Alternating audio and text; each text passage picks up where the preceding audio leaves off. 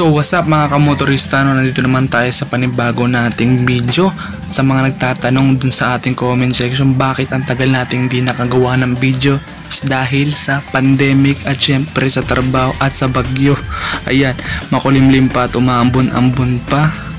Dahil naisipan natin gumawa ng video ngayon kahit na naulanan o basa pa tong ating motor.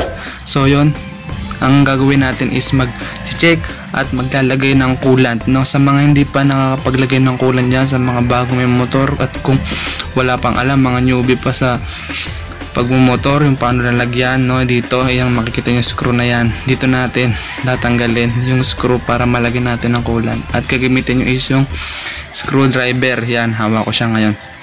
Guys meron ditong paraan no, para ma-check mo siya yung coolant kung okay pa ba.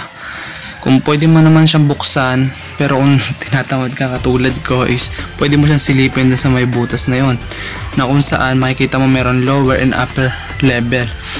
Pero kung masipag-sipag ka naman at kung gusto mong linisin yung loob niya yung pinakalagyan ng coolant niya so tanggalin na natin. So yan. Chinik ko siya muna pero ito tatanggalin natin. Yan yung screw tatanggalan. Tapos pag natanggal nyo na yan yan angat nyo lang. And then nakikita nyo yun dito sa part na to. Meron siyang ngipin dyan nakaklip yan dyan. Kung saan yan mahirapan. Ayun oh, medyo maputik siya hindi siya masyadong kita kahit na nakailaw na siya. Then pag naangat nyo na siya tatanggalin nyo dito. Medyo hirap ako guys kasi isang kamay lang yung gamit ko dito kasi isang kamay nakahawak sa cellphone. So yan tatanggalin muna natin yan. Yan. Mahirap siya guys kasi alam nyo na kanan tayo tapos kaliwa ginagamit natin pang tanggal. Then wala tayong choice para makuha natin ng mas okay at mas maigi yung pagtanggal. At dito susundutin nyo kung kaya nyo naman dito. Sa part na to medyo maputik siya no? Kasi hindi siya nalinisan yung masyadong ilalim. At dito yan tanggal natin. Hirap, ta hirap talaga tanggalin. Pero ma makikita nyo mapapansin yan dyan. May parang ngipin dyan. Yung sasabitan niya dyan para mag lock Ayan guys, tanggalin muna natin dito sa part na to. Talaga yung mahirap. So, yan. Yun, tanggal. May click sound yan eh. Para mas okay yung pagtanggal, no? So, yan. Pag natanggal na natin siya, yan. Ito yung nakikita yung ipin niya. Madumi, no? Yan yung mahirap tanggalin sa part na yan. Ito yung cover niya. Oh. Dumi. Lapag muna natin siya dyan. And then, yan ayun yung lalagyan ng coolant yan o. Yan yung sinasabi ko may upper and lower level. No, yan yun. Punasan mo natin ma. Napakadumi na. Ayan yung sinasabi ko. Sisil sisilipin yan. Yung sa may maliit na butas kanina. Yan.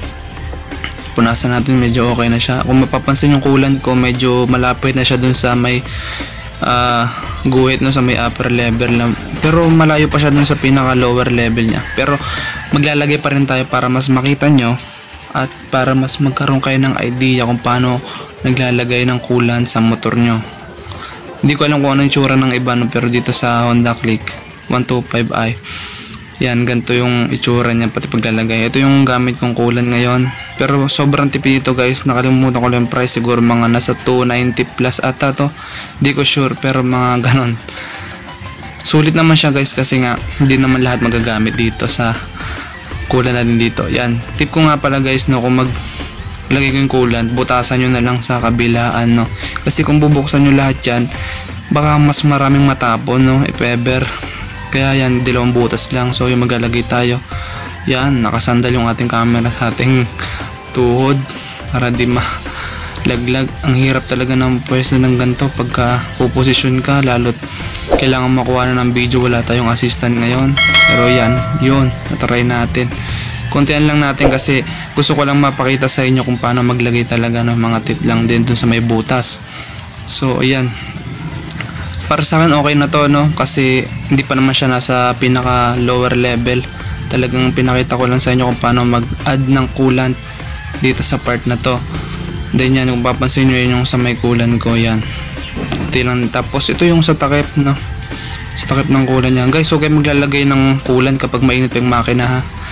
Kasi, alam nyo naman, sa mga matagal na nagmumotor dyan, alam nyo na siguro kung bakit, no? At sa mga baguhan, uh, syempre mainit pa yung makina isa, isa din yun sa dahilan kung ba't din naglalagay ng coolant kapag mainit pa ako kaka ah, patay lang ng makina ng motor kasi dahil mainit pa. And then yan mainit din yan kasi yan yung sumusuporta dun sa pagpapalamig ng makina sa may kulad natin no? Tsaka guys huwag niyong pupunuin yan. Kaya nga mayroon siyang indicator kung lower level o nasa upper level lang yung lalagay mo no? kasi hindi talaga pinupuno yan. Kasi once na mapuno yan alam mo na kung bakit.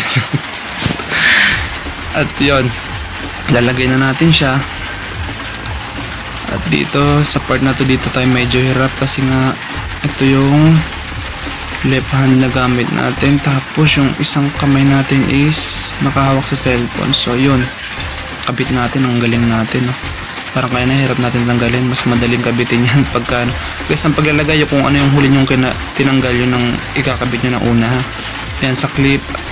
Sa connector doon. Tapos pag nakabit na siyang ngipin niya dito na sa may screw na yan ang pagkabit nito syempre clockwise. Ang pagtanggal counterclockwise. So yun kabit na natin siya. Then pag nakabit na natin yan tapos na. Diba? Basic. Ganon ka basic ang pag check at pagtatanggal ng takip at pagkakabit ay pagkakabit paglalagay ng coolant so yun kung mahilig ka sa mga ganong video please like share and subscribe. At dito na natatapos ang ating video